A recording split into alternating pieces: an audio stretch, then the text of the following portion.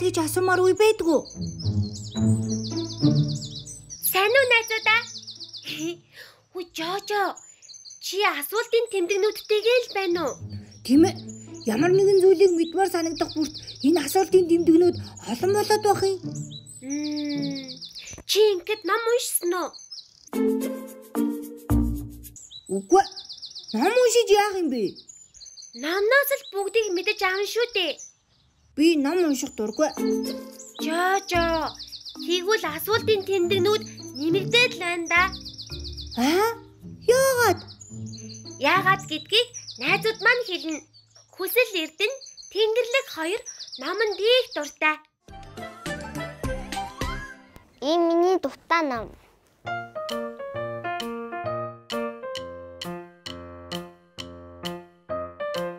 Одоо одоо сүдэ уван одоо сүдэ уваацсан. Би оранж банана идлээ бас өнгө идлээ. Одоо уваалаа хий. Энэ уваалаа хийцэн энд.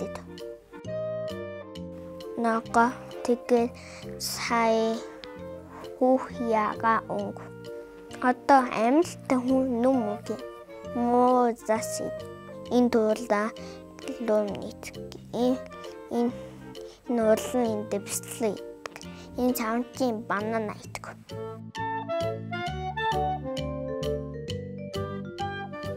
Ой, энийг би энэ дуртай. Энэ затан динзавр шүү. Ийм. Эбарха дээрээс сэврэж чадгаар динзавр бас багч нь баг. Өөр юм бисгэн динзавр өндөгнөөсөө төрдөг. Энэ өндөг байгаа биз дээ та нар энэ өндөг. Энэ өндөгнөөсөө төрсөн. Би динзаврын ам дуртай гастууд избэрдэг. Нөгөө би дандаа динзавр дуртай. Гоё юм аа. Би ч бас найзуудтайгаа адилхан ном уншдаг болноо. Одоо хандмаа мэрэгэн хоёртай танилцъя. Тэд номны тухай олон зүйл чамд хэлж өгөх болно.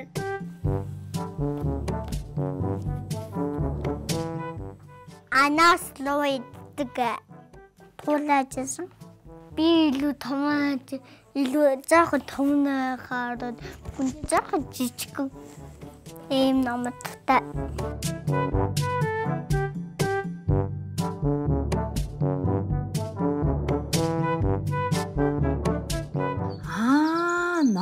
Уншихаас гадна номоо имхэлж зэгцэлж хураах нь ч бас чухал юм байна.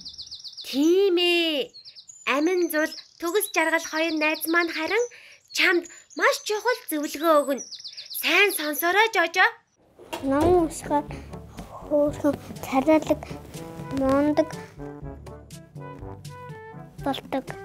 Санцага ном дээрээсээ шүлэг зааж өгсөн. Болмор болмор хөөрхөнд боо талхан дуртайтай үл болохоор дардаг та жив жив дуурдаг та жижиг хөөрхөн болмор доо.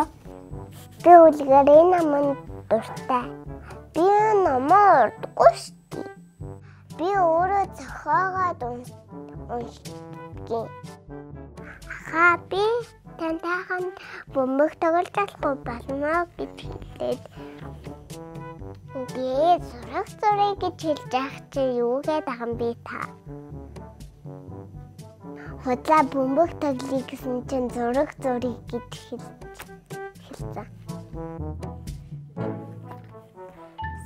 Нам дээр юм сараач зурхгүй яах.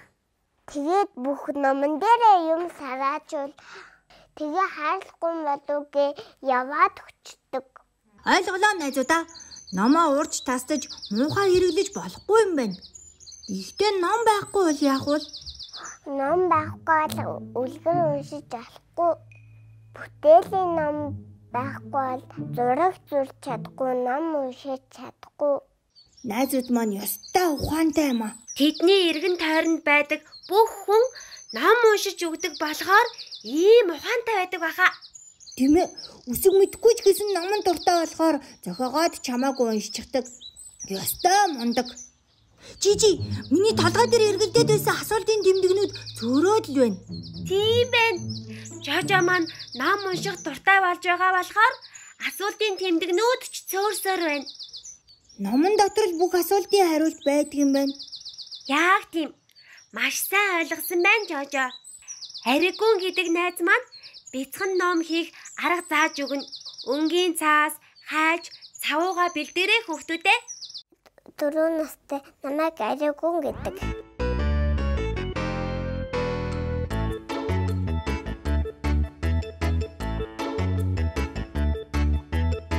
Нөгөө татын нүгэл.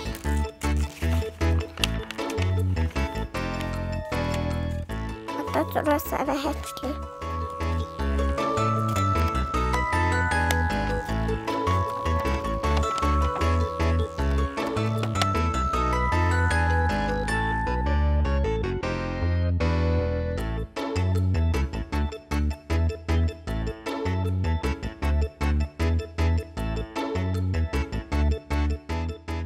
Холбоод наагаад дараа нь цугдъя. Цугасаа төрөхгүй бол номч нь сална шүү.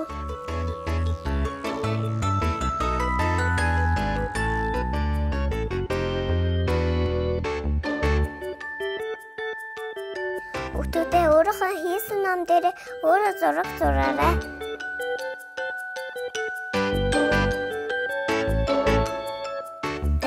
Ийм ном хийгээрэй.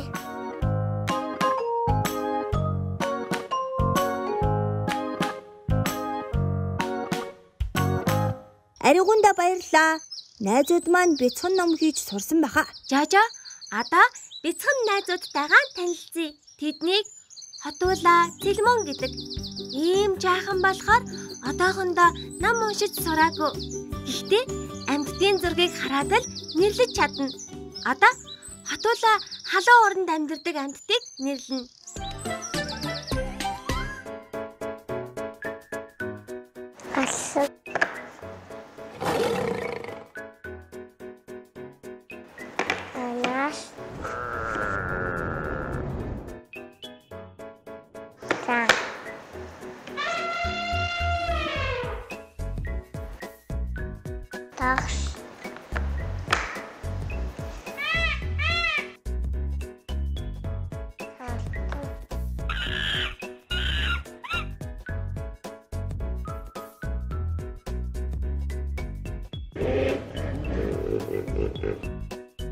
Матал.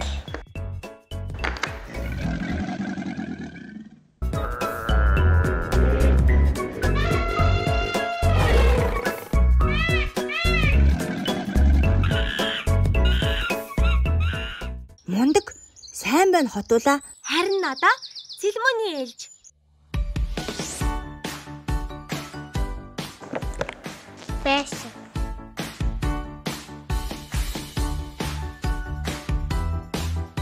作ってか。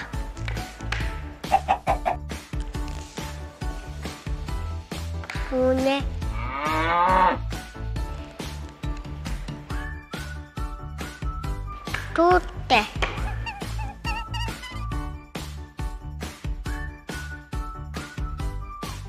はい。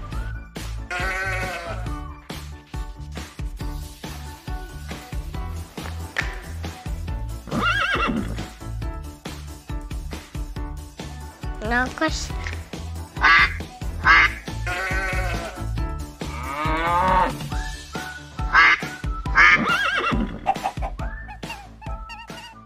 Бяцхан найзуудтай баярлаа. Жижи, авьяаслаг багчууд буланд оролцож байгаа хүүхдүүдтэйгээ уулзъя. Тэгээ тэд бол MNB-гийн хүүхдүүд цэцэрлэгийнхэн.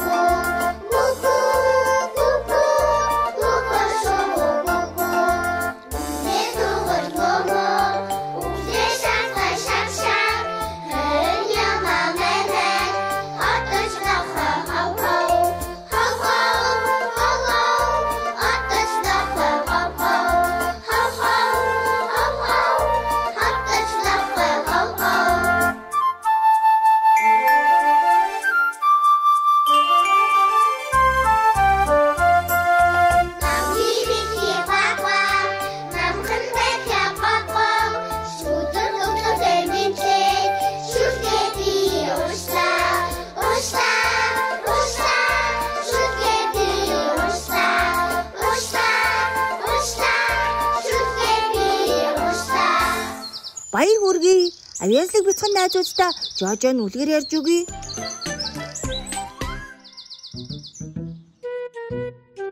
Алтан гатс ба долоон бурхан. Эрт үрд цагт хол нутгийн нэгэн хаан хосгүй сайхан хатантай байжээ. Хаан хайртай гатнаа хаашааж гаргалгүй үргэлж ордондоо байлгадаггүй. Хатан нэг удаа гадаа гарч цэцэрлэгээр зугаалахыг гуйж гин. Энэ удаад хайртай гатныхаа гуйлтыг хаан аргагүй эрхэн зөвшөөрчээ. Өөрч догдолсон хатан цэцэрлэг түрээлэнгээр цэнгэн зугаалж байтал харь газрын нэгэн шуу харавсан сум шиг дүүлэн ирээд шүүрч оджээ. Твдэж сандарсан хаан мэрхэн зурхаачаа дуудаж "За миний гатныг хэн олж ирч чадах вэ?" гэж асуухад зурхаач тэр дорн мэрэглээд адуу малит нь хариулдаг 8 хөвгүүн найдварыг нь биелүүлэх юм байна да. Гэхдээ нар жарахаас өмнө амжихгүй бол инхри хатантай нь эргэж ирэхгүй гэлээ. Хаант нь тэр дорой 8 хөвгүүнийг дуудаад хатны минь 9 мин дээр нь олж ирвэл хорвоо ертөнц дээр зөвхөн миний ордонд байдаг алтан сумыг өгнө. Түүгээр ч орохгүй та нарыг төшмөл ноёд болгоно.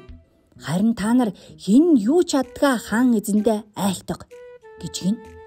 Учир явдлыг сонссон хөвгүүд ээлж дараалан ингэж өчжээ.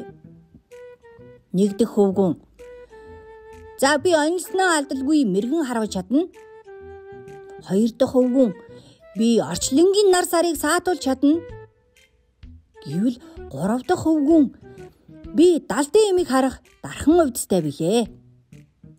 Дөрөв дэх хөвгүүн би альва эмийг үннээр нь шиншилж альч газраас олдог билээ. Гэхдээ тав дахь хөвгүүн би шуурга салхи хоёрыг шууд сорж чадна. Зургаа дахь хөвгүүн тэнгис далайн усыг тэр чигээр нь сорж чадна.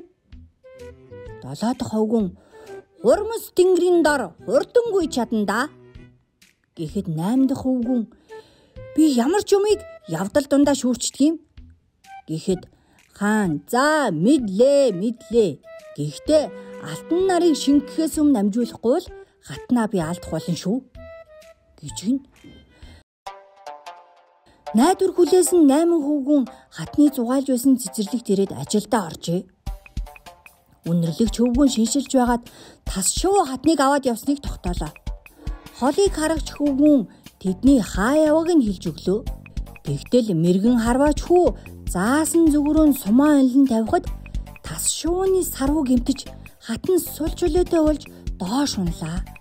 Тэгэхэр нь сордог хүү шидийг үзүүлэн харавсан сум шиг доошилж байгаа хатныг наашин дөхүүлэхэд отхон хүү агаарт дүүлэн хатныг шүүрч авах зураа ёроолгүй их далайд унчжээ. Энэ хооронд аливаа эмийг тогтоогч хөвгүүн жаргаж байгаа нарыг тогтоон барьлаа. Тав дахь хөвгүүн тэр хоёрын үнс нь далайн усын ёроолыг нь гартал сорж гин. Энэ үед хурдан гүдэг хөвгүүн харавсан сум шиг гүйж ирээд хатныг аварчээ. Долдугаар хөвгүүн тогтоон барьж исэн нарыг жаргууллаа. Хатны 9 минут авчирсанд хаан цалигтлаа баярлаж амлсан болцлоо биелүүлэх гэтэл хөвгүүд хаант минь бид ноён төшмөл болох хүсэлгүй илээ. Харин таны тэр алтан сумнаас өөр юу ч бидэнд хэрэггүй гэж хэлжээ. Хаан заав эз би ч одоо ганцхан ширхэг сумаа хинд нь өгдөг юм билээ. Тэгэхэд та өөрөө болгоон шийдтвэ гэж гин. Үүнийг сонссон хаан хэсэг зур бодол хийснэ. Би энэ сумыг тэнгэр рүү харавхад уралдаж очоод аль төрүүлсэн нь авдаа. Гээд сумаа тэнгэрөөд онлон харавжээ. Сумны хойноос 8 өвгүн зэрэгцэн хөөрлөө. Тэгтэл отхон дүүн ах нараасаа тасран хурдаж тэнгэрт гарan алтан сумыг гүйцэж яваад тэндээ алтан гац сод болжээ.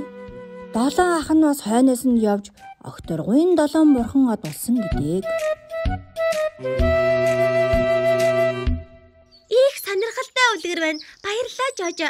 Найзуудаа дараагийн дугаараар дахин уулзлаа. Баяртай.